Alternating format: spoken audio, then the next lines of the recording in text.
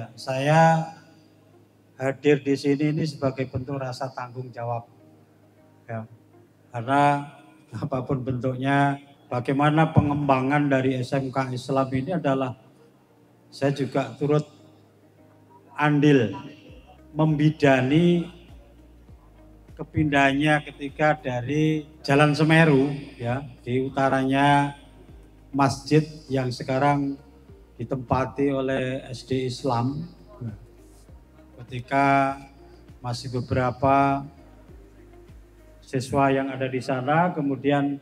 dalam rangka bagaimana mengembangkan SMK Islam ini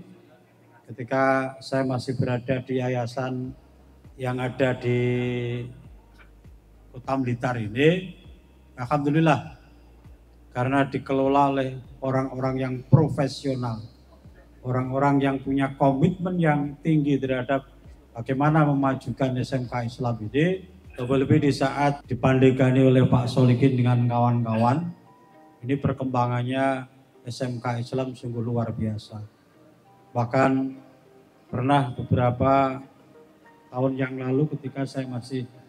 di Kepala Dinas Pendidikan mendampingi dari Ibu Gubernur Jawa Timur ketika dia datang di SMK Islam ini beliau kagum melihat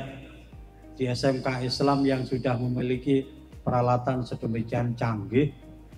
bahkan produk-produk yang dihasilkan